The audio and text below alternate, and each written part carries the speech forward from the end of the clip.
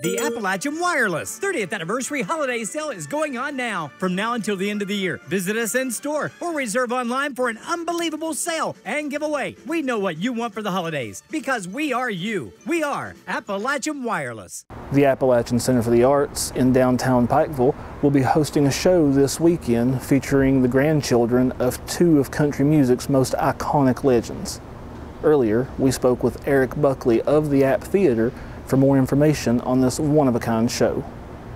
Friday and Saturday, uh, the 19th and 20th of November, we are having Taylor Lynn and Tre Twitty come in and do their uh, tribute concert to their grandparents, Conway and Loretta, obviously.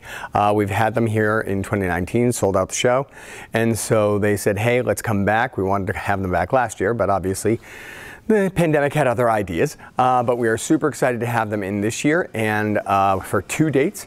Uh, their band and their show are tremendous, and they're going to have an opening act, which local people, uh, the Hall Brothers, and they're going to be super wonderful. And uh, the, it's an amazing evening of music and stories, and quite frankly, it's just a great opportunity to really pay tribute to two country legends if you're a fan of country music like that, you know, you know what a partnership they had over the years. So they get to do their own individual tributes to their grandparents as well as the numerous times that their grandparents got together and did duets.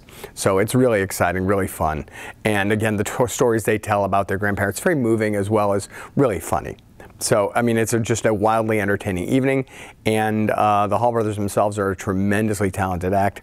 And to have the two of them there together here in our building, really, you know, nothing we could want more. Uh, and those are, again, the 19th and 20th, so Friday and Saturday. And I will say tickets, particularly Friday, is almost sold out, and Saturday is well on its way.